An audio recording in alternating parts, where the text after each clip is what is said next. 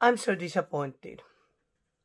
I'm so disappointed that we have spoken so many years about the violence against women without concrete effective action in European member states and on the countries throughout the world.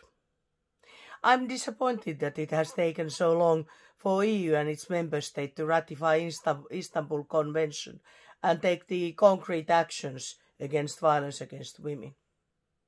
I'm disappointed that so many women still are beaten and some even killed at home-based violence.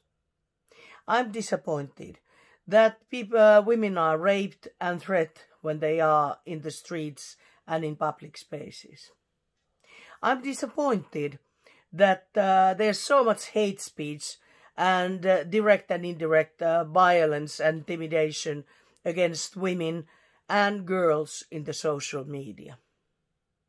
I'm disappointed that uh, the structural violence still keeps on going, that uh, without adequate services and support, women are put uh, as secondary citizens in our societies.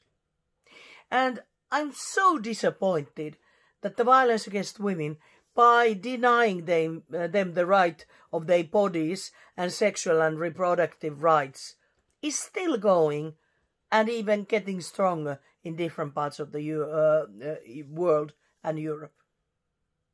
But let not us be only disappointed.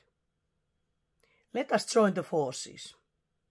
Let us start fighting even harder to stop with the zero tolerance all types of the violence against women, offline or online, physical, mental or structural violence.